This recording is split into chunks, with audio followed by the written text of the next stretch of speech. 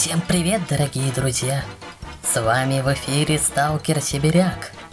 Вот уже целый месяц я сижу дома, вдали от цивилизации, постепенно приобщаюсь к...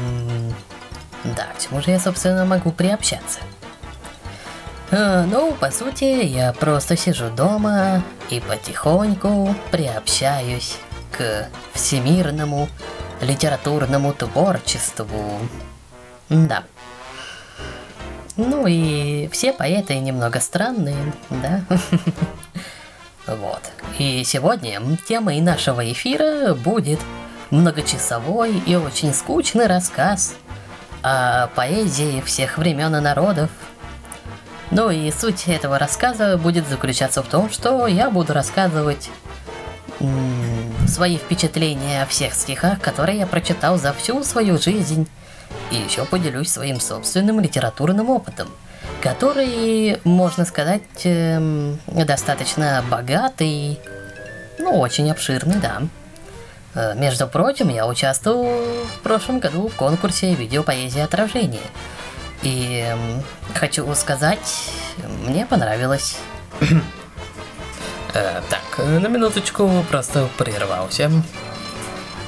Э, нужно было кое-что сделать. Тут свет не так падает, я заменил лампочку. так вот, э, мои шедевральные стихи, которые я написал в прошлом году, они завоевали всеобщее признание. Ну, во всяком случае, по моей версии. И в первую очередь, при написании стихов э, я вам могу дать несколько советов. Во-первых, э, для начала должна быть очень крутая творческая идея. Идея, о которой... Эм, Блин, минуточку, кажется, мне кто-то звонит. Алло. Это ты, сталкер Сибиряк, не правда ли? М, Да, это сибиряк. Да, слушаю. Давно мечтал тебе об этом сказать. Твои стихи отстой, ты в курсе? Э, в смысле, то есть, э, как это? У тебя нет никакого таланта. Ты пишешь абсолютную бездарность, графоман. Да, да я... Зачем ты оправдываешь отсутствие фантазии у тебя в голове? Займись чем-нибудь другим,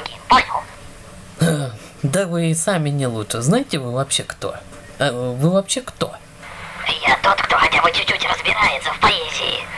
Мне очень неприятно слушать тебя. В общем, я все сказал. Ну ладно, ну ладно, ладно, я вас услышал.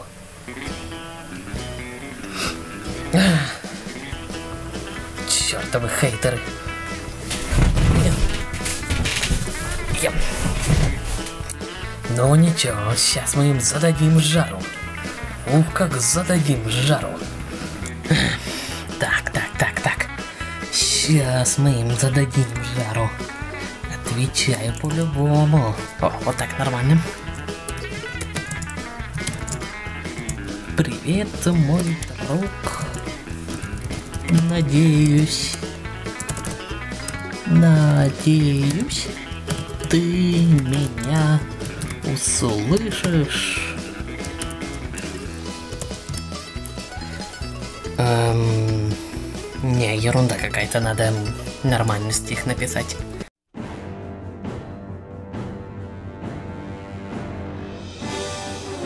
Зачем идем на путь борьбы, поэт Борис Пастернак? Зачем идем на путь борьбы? Какой во всем здесь видишь смысл? Быть может, будем мы правы, в себя напялив балаклавы. Наш мир не любит правых дел, а нас ведь вспомнят все плохое, затопчут в прах все наши годы. Зачем у моря ждать погоды? Наши стихи им не нужны. Им нужен лишь венец творения. За тем углом стояли мы и ждали лишь сигнал забвения. За годы понял я одно. Не нужно ждать любви от многих. Тот, кто полюбит нас, убогих, найдет сокровище свое. Творенье здесь, оно в душе. Пиши стихи от всего сердца. Тогда придет огонь мечты, и он закроет тьму дыры. Мои листы все вмерзли в лед, забуду я о своих строках. Но мне все будет все равно. Я не боюсь терпеть невзгоды. И было три часа утра.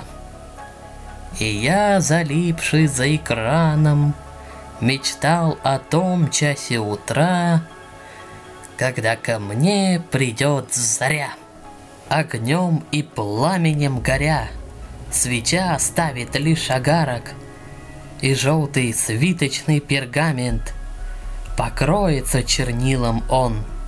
Мой слог, светясь лучом надежды, Прорвет наш мягкий, гибкий мир, И попадут мои все строки Назад во времени, к тебе —